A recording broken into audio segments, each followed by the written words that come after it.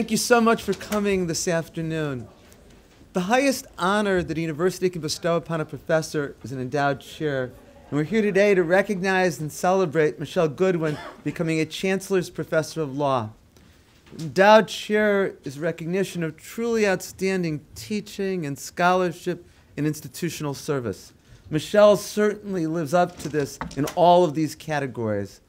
She received her undergraduate degree from the University of Wisconsin, a law degree from Boston College. She then received a master's degree in law from the University of Wisconsin. She did a postdoc at Yale Law School. She began her teaching career, as a number of people on our faculty did, at DePaul College of Law in Chicago. She was a visiting professor at the University of Chicago Law School, and then was a professor at the University of Minnesota Law School. She was the Everett Fraser Professor of Law.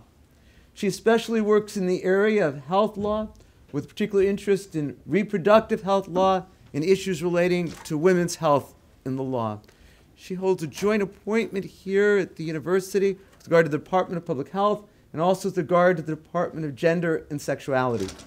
I could go on in great detail about her many publications, the many boards she serves on, the many honors. I don't want to take her time to speak to you, but it's with great pleasure that I get to present to her a chair. One of the things when we next gives me an endowed chair, there's actually a physical chair, oh. and it says Michele Goodwin, Chancellor's Professor of Law, effective April 1st, 2015.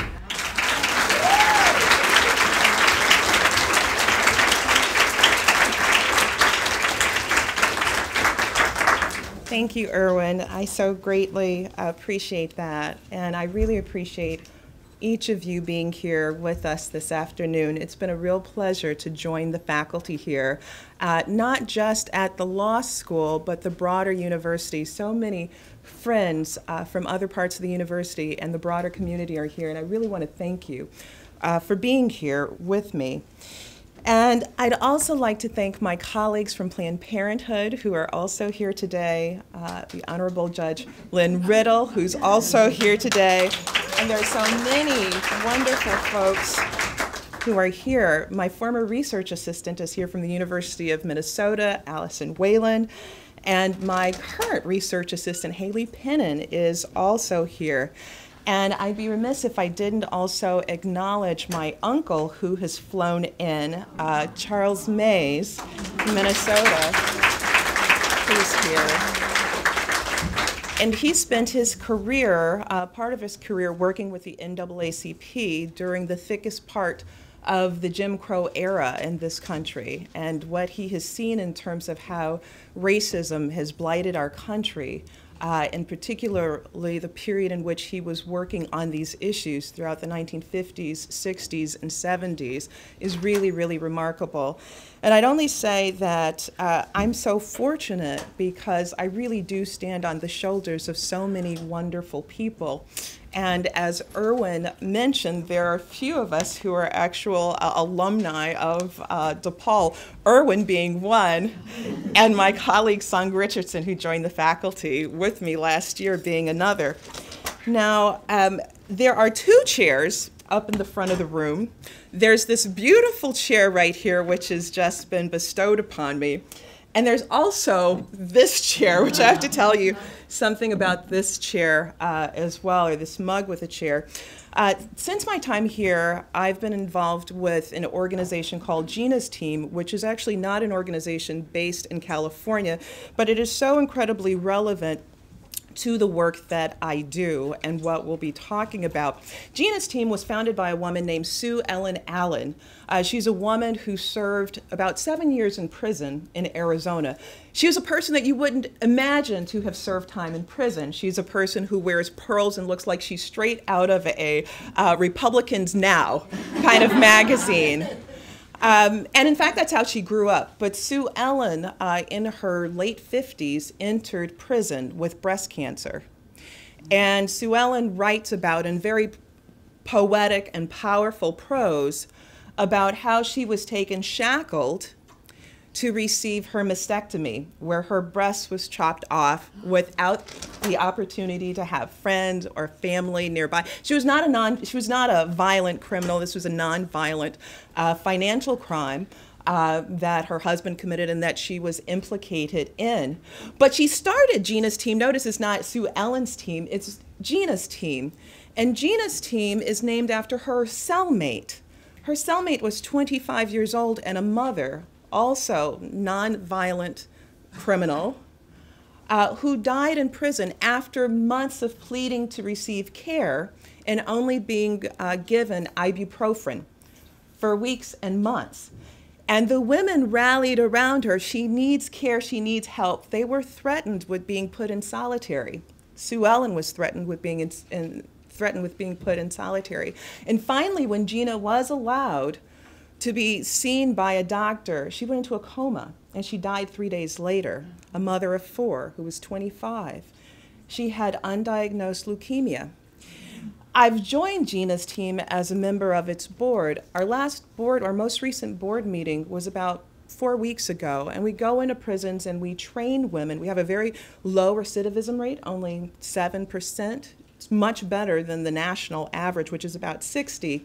But one of our graduates of our program, who happens to be in prison, had just died three days before. She had begged for medical care. Begged for medical care, and she was told, well, maybe in May a doctor would see her.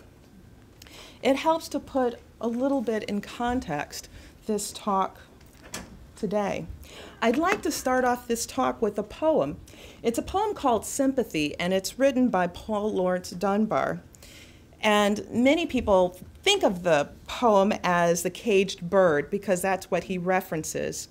And here's the poem I know what the caged bird feels, alas, when the sun is bright on the upland slopes, when the wind stirs soft through the springing grass, and the river flows like a stream of glass, when the first bird sings and the first bud opes, and the faint perfume of the chalice steals, I know what the caged bird feels.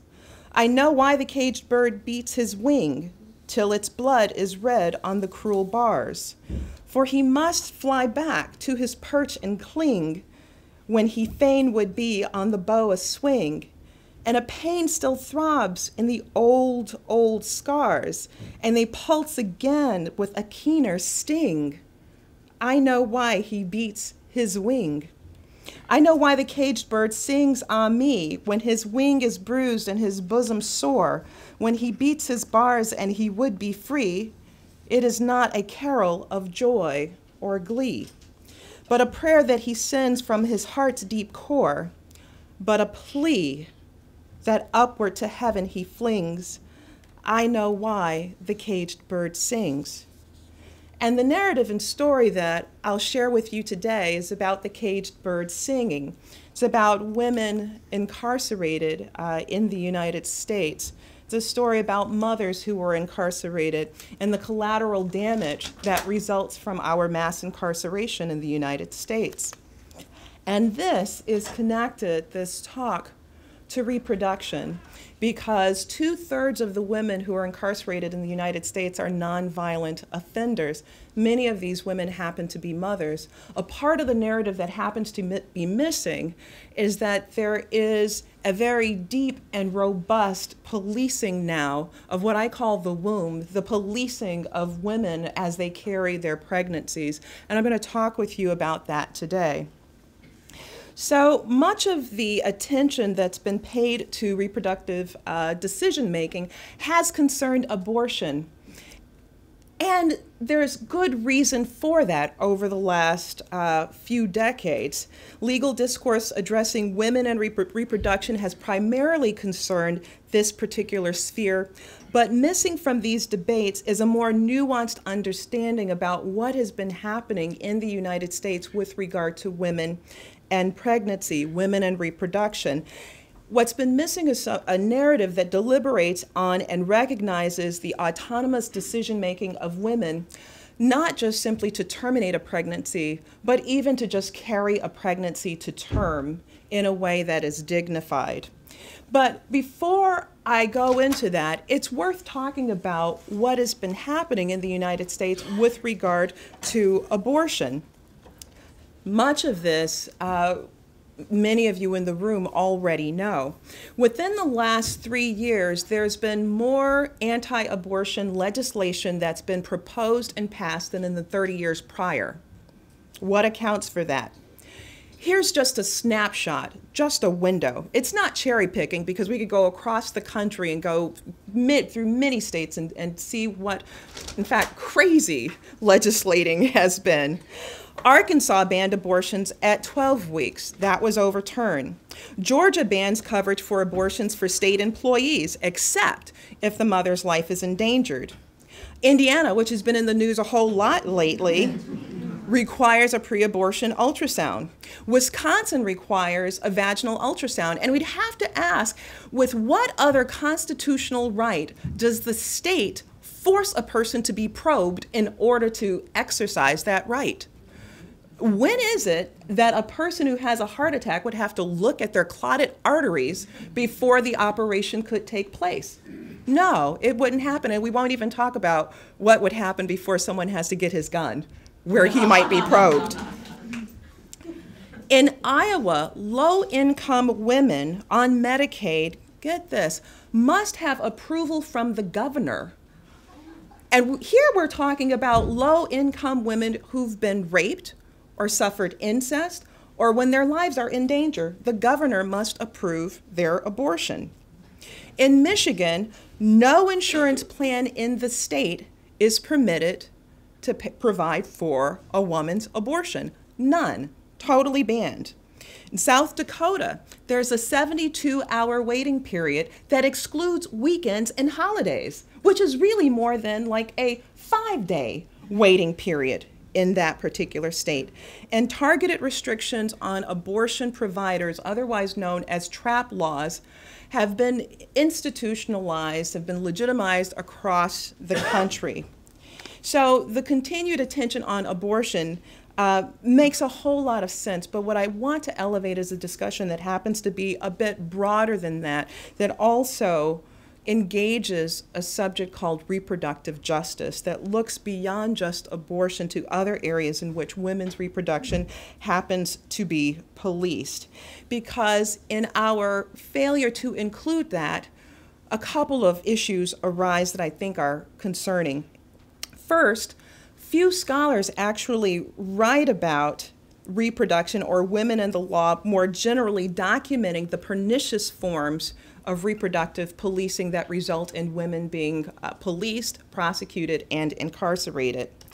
And also, constitutional law scholars could, in fact, take up this opportunity to think more robustly about the ways in which the Constitution could come to the aid of these women uh, who are suffering under uh, attack.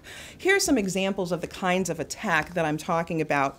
Bei Shuai, I was an expert witness in her prosecution. Uh, an expert witness for the defense, not the, the prosecution.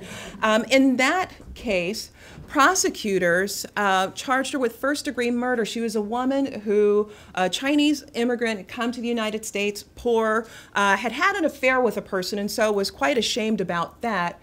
And in the wake of this man leaving her, she decided that she would kill herself, that she would eat five packets of rat poison and end it all.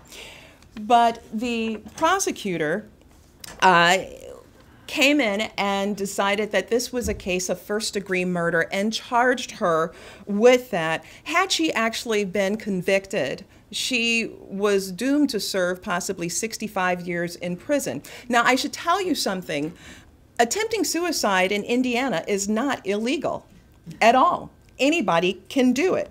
And in fact, in the state of Indiana, the same year that she attempted suicide, 53,000 other people attempted suicide in the very same manner. She was singled out because she was pregnant, and that's problematic. Or Maria Guerra in Tennessee. again, just about a year, year and a half ago. She became a victim of selective prosecution based on pregnancy.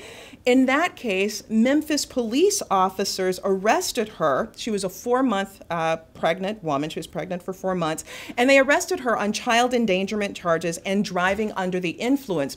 Only get this she only was at half the, uh, the limit for alcohol, so she was actually under the limit. There was no child in the car except the fetus that she was carrying. There was no accident. She had not run into a pole or anything else.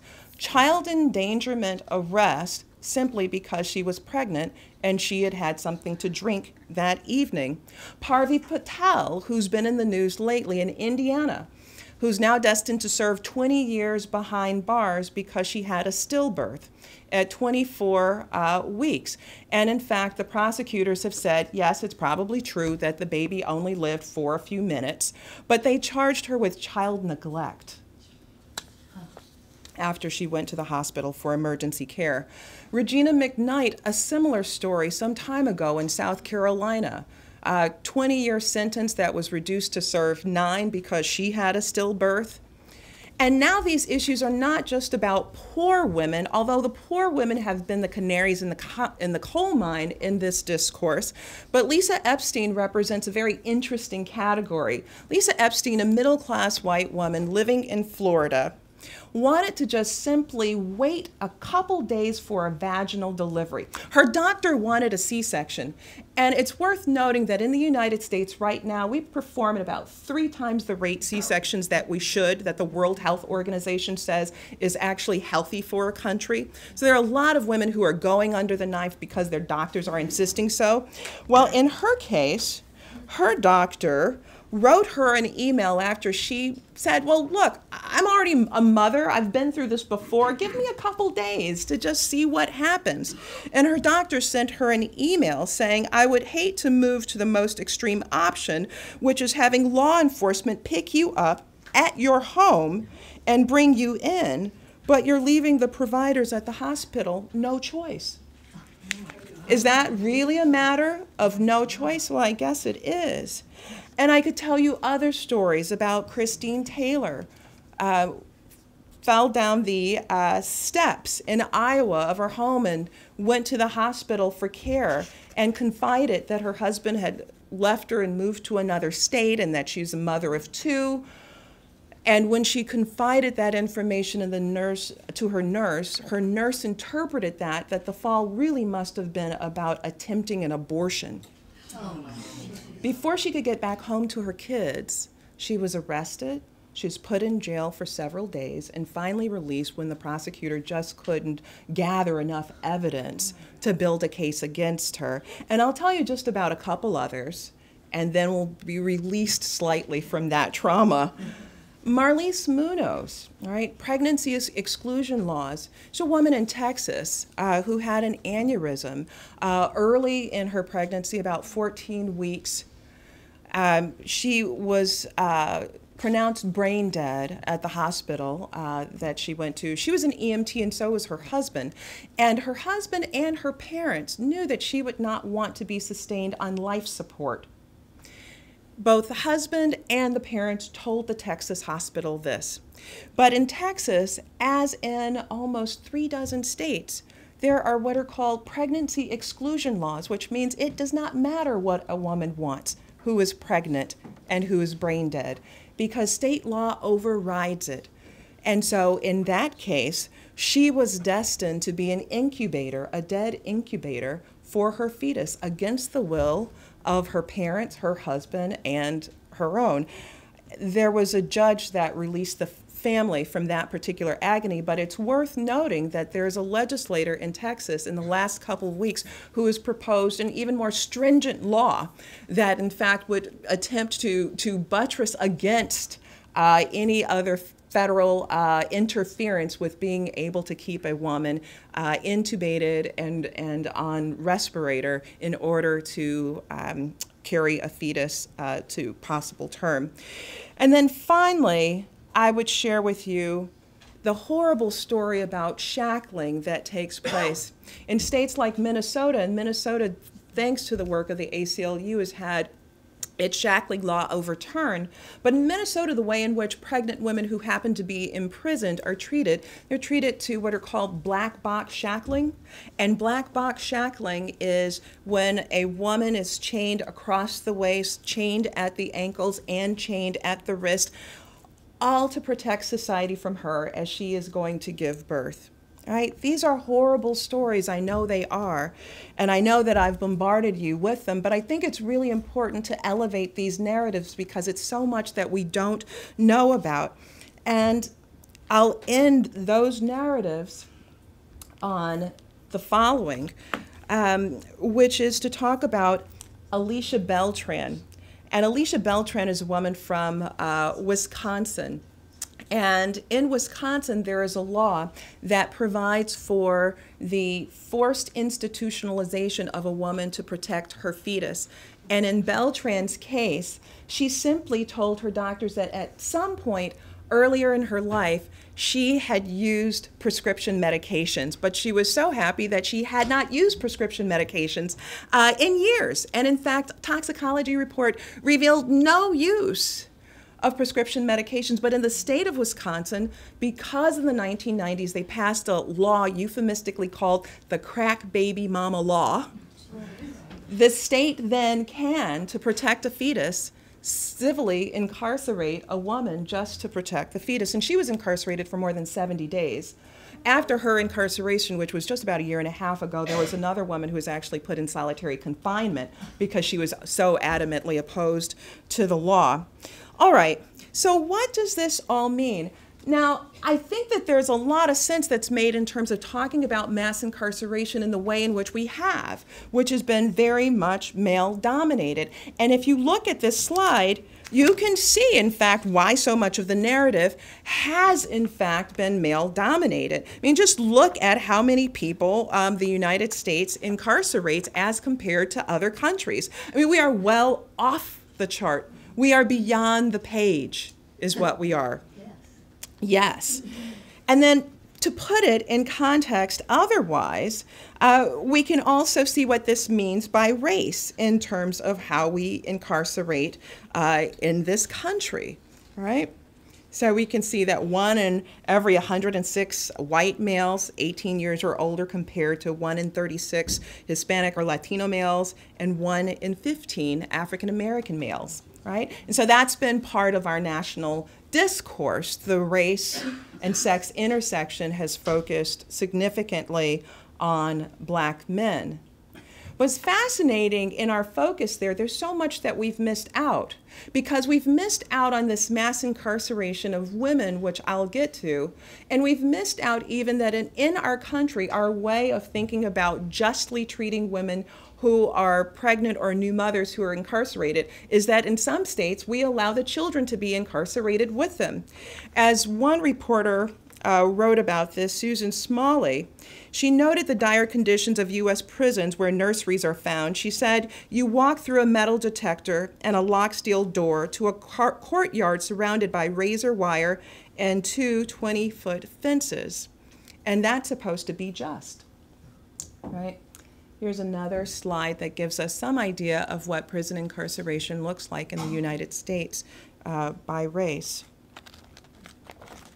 Now we begin to, to look at what incarceration means by race and also gender, right? So all women, 1 in 56, white women, 1 in 111, black women, 1 in 18, Latina women, 1 in 45 right? And there's been a dramatic rise in the incarceration of uh, women in this country, right? And this gives you some idea of what it looks like incarceration in the United States as compared to other countries. In the United States, we incarcerate more women than in Russia and China, right, combined. Look at that. And we could add in some other countries too. But we don't talk about this. Um, we don't talk about it certainly as much as, as we should, right? And who's affected by this? Children certainly are affected, right? According to the Institute on Women and Criminal Justice, which is a leading national uh, policy organization that does uh, qualitative and quantitative uh, data gathering with regard to women and prison, they have reported that the incarceration rate, the prison population of women, uh, has grown in the United States by 832% between 1977 and 2007, nearly double the rate of male incarceration. And this staggering increase now results in 1 million women being somehow involved in the criminal justice system in the United States, in jail, in prison, on probation, or somehow tethered to the system. And of these, many thousands have, happen to be mothers who are caught into this system. now, it's worth thinking about this space that we're in right now and how we police women and their reproduction, and also how uh, we think about the fetus and fetal rights. And I want to reference a, a, case. It's called Dietrich v. Northampton, and it's an instructive case, I think, uh, because it's a case from 1884, and it gives you some idea about just what this gap represents. So, in that case, Oliver Wendell Holmes ruled that it would be far too remote if an action could be maintained on behalf of a fetus still dependent on the pregnant woman bearing it. Get that? 1884.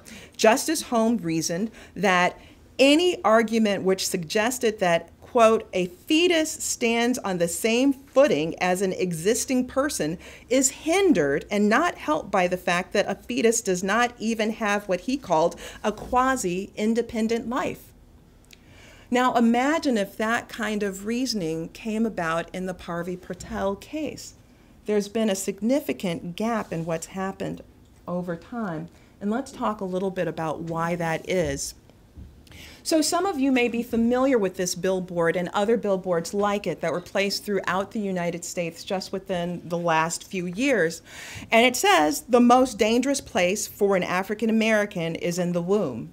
And this is supposed to be in response uh, to African American women thinking about reproductive liberty and using their own independent reproductive uh, decision making. The idea is that uh, having an abortion is somehow consistent uh, with attempting genocide in the African American community. It's a very seductive kind of a ploy, but incredibly offensive to use the linguistic and the framing of a genocide and connect that with African American women using their own legitimate, independent decision making about their bodies. How horrific. But you know, it connects with another horrific discourse, right? A discourse that goes back to the 1980s, which is a point worth us thinking about. It's the time in which there becomes a war on women who are on welfare and a war on people who are using drugs. It's the drug war and it's also the welfare war that come to harmonize together in the 1980s in a very pernicious way. And it's an era and time in which this narrative about crack babies comes to the fore in unscientific but very pernicious and disturbing ways that focus very directly on African Americans. Headlines of that time read like this one Crack babies, the worst threat is mom herself. Only it's worth thinking about the fact that there is no such thing as a crack baby and the backpedaling that newspapers have done, that the New York Times did just a couple years ago in a video and not on print, where it went back and backpedaled. Oh, the crack baby myth. It was a myth. It was overblown. Not enough attention paid to the scientists who were actually researching maternal fetal impacts. In fact, so overblown that the Journal of the American Medical Association and the New England Journal of Medicine, both in the early 2000s, came out and said we will no longer publish any article that uses the term crack baby. Now, it's worth noting that at the time in which the stir was happening, Dr. Ira Chasnoff, who is a young researcher, a young doctor, actually had some patients at Northwestern. Uh, he didn't actually have a study with any kind of control group. Uh, there were some patients that he had, and he used this term, crack baby. This is what these women must be having. And it was 23 patients that he had. Now, what's worth noting is that these babies were premature. And so when reporters got a hold of this and they came in with their cameras, they saw the babies trembling. And they said, Oh, that's what a crack baby does. It trembles. Well, I'll tell you, I'm a mother, babies tremble. they tremble. The babies cry. This is another sign of a crack baby. babies cry. This is what happens.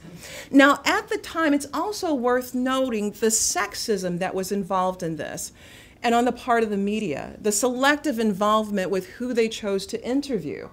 Because Dr. Claire Coles, who's at Emory University, who for years had been studying fetal maternal impacts across a spectrum cigarettes, alcohol, cocaine, so forth had told reporters look, there's no such thing as a crack baby. What he's showing you, what you guys are picking up are, are preemies. This is what a premature baby looks like. She said, let's look at alcohol. Let's look at tobacco use. Or Dr. Hallam Hurt, who was running the longest study on maternal fetal impacts with cocaine use. And in fact, to be in her study, one had to be deeply involved in cocaine use, at least 50 times during pregnancy. And she said, you know what? Poverty is a better indicator. When you want to sort of think, well, how are they going to do in school? How are they going to have a job? It's poverty. It's not crack. We might like that story and that narrative because it fits so well with a racialized story, but it doesn't work. There is no such thing as a crack baby. But there was incredible, incredible um, velocity uh, behind the crack baby myth. And it shaped policy and it shaped the policing that we did in our country. And it shaped the very laws that have emerged over the last couple decades that are now engaging so many women who are falling prey to these laws um, that uh, result in their institutionalization. All right, so let's look more at what these arrests look like for drug possession um, and uh, women. So we can see with female arrests what it looks like in the early 1980s, and we can see then what it looks like 1989 there's a there's a little peak there in 1990 but notice the top bar right we're about 15,000 now, now let's go to the next slide. All right, now we've surpassed the 15,000 and we're over 20. Now let's go to the next slide. And you see how we have continually continually uh, risen more and more in terms of these uh, arrests, female arrests for drug uh, possession. Here's another way of looking at these numbers, too.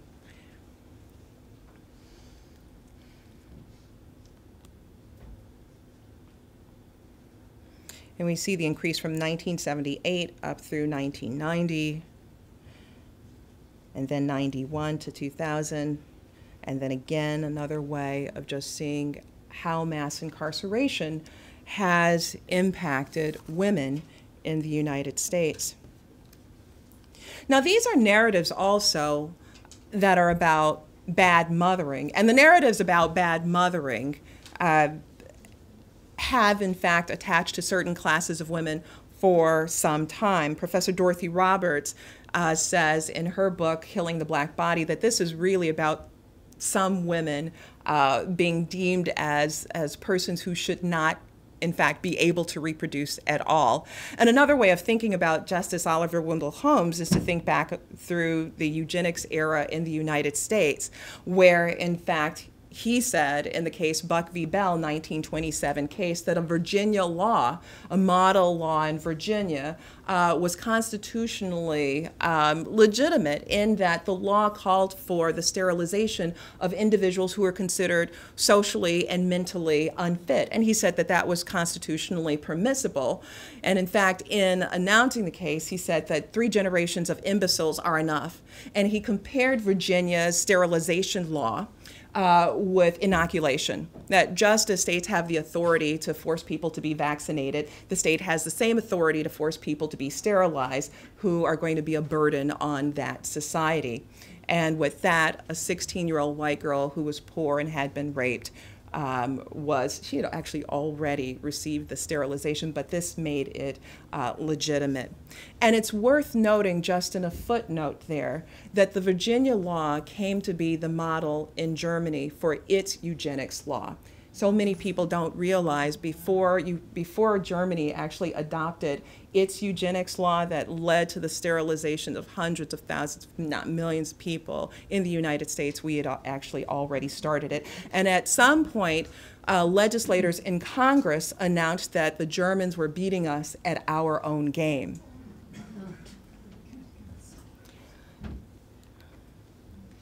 So it's worth thinking about what happens to children who have mothers uh, in prison. And Kristen Turney, uh, one of our colleagues here at the University of California, Irvine, has done fabulous work in this domain. And what her research reveals is that for children who have a parent in prison, that child fares worse emotionally and psychologically, physiologically, than a child who's had a parent die right? That's how bad it is. So when we begin to think about what are the collateral costs associated with how we've policed, how we've policed with regard to drugs, how we've policed with regard to women who've had stillbirths or miscarriages, then we begin to see what the impacts happen to be more broadly on their children. And this gives you some idea of the increase of uh, children who've been impacted by how we incarcerate in the United States. And this slide gives you a sense of what that looks like by race in the United States.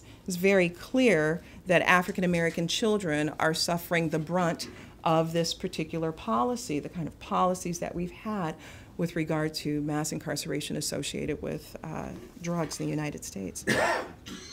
right. And this slide gives you a sense of what this incarceration rate of women looks like broken down by race in the United States. It's a slide from 2008. Now, we want to look at the likelihood of a child who has a parent in prison.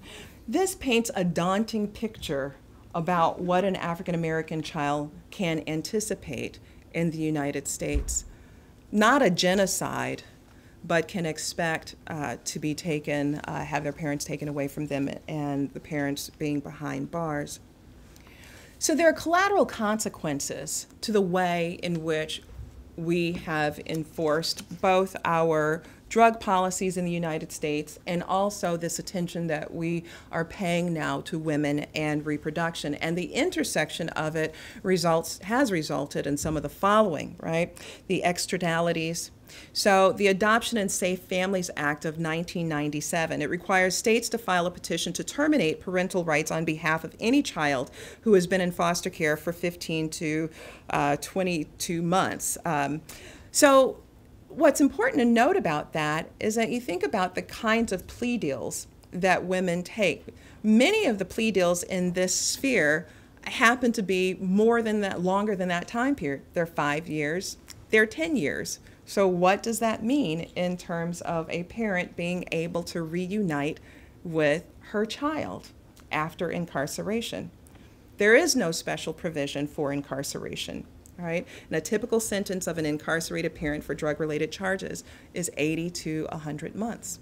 The Anti Drug Abuse Act 1988, which was revised in 1996, it added a one strike initiative that authorizes public housing authorities to evict tenants for drug related activity on or off uh, the premises, right?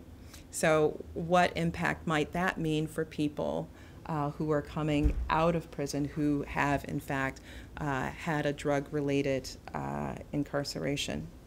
The Housing Opportunity Program Extension Act, it's interesting the way in which these uh, laws are, are termed. You know, it's really not an opportunity. Um, but the Housing Authority may request criminal conviction information as a screening device for housing applicants to filter out those who've been convicted. I mean, overall, painting a really terrible picture you know, there's a point that I'd like to go back to. Alicia Beltran, she was the woman in Wisconsin who was incarcerated for 70 days to protect her fetus. After her incarceration, she had lost her job. She had lost her apartment. What was she coming back to for the protection of her fetus now that she had a child with no apartment and no job? And finally, as I begin to wrap up, it's worth noting what happens in foster care because for so many women who are incarcerated in the United States, their children uh, end up in foster care in the United States. And here's what that looks like. Um, only 4% live in pre adoptive homes, others live in group homes, um, institutions, shelters, um, foster family homes. And this gives you some idea about what the life chances happen to be for those kids who are somehow rescued from one system and put into another. And this is data that is developed by or that has been researched uh, by and then gathered by researchers at the University of Chicago and the University of Wisconsin who've been engaged in a longitudinal study following children who've been in foster care and then who age out. Age, aging out is a process by which now they're 18 and now they're leaving foster care. And so they followed these kids for more than a decade. It's really about a decade and a half now. So at age 23, here's what they've found. Less than half are employed. Almost 25% homeless after exiting foster care. Uh, of the young women, 75% pregnant after leaving foster care. Um, 60% of young men convicted of a crime, more than 80% arrested. And what's also very telling is about education and what this means in terms of future opportunity. Only 6% had a two or four year degree.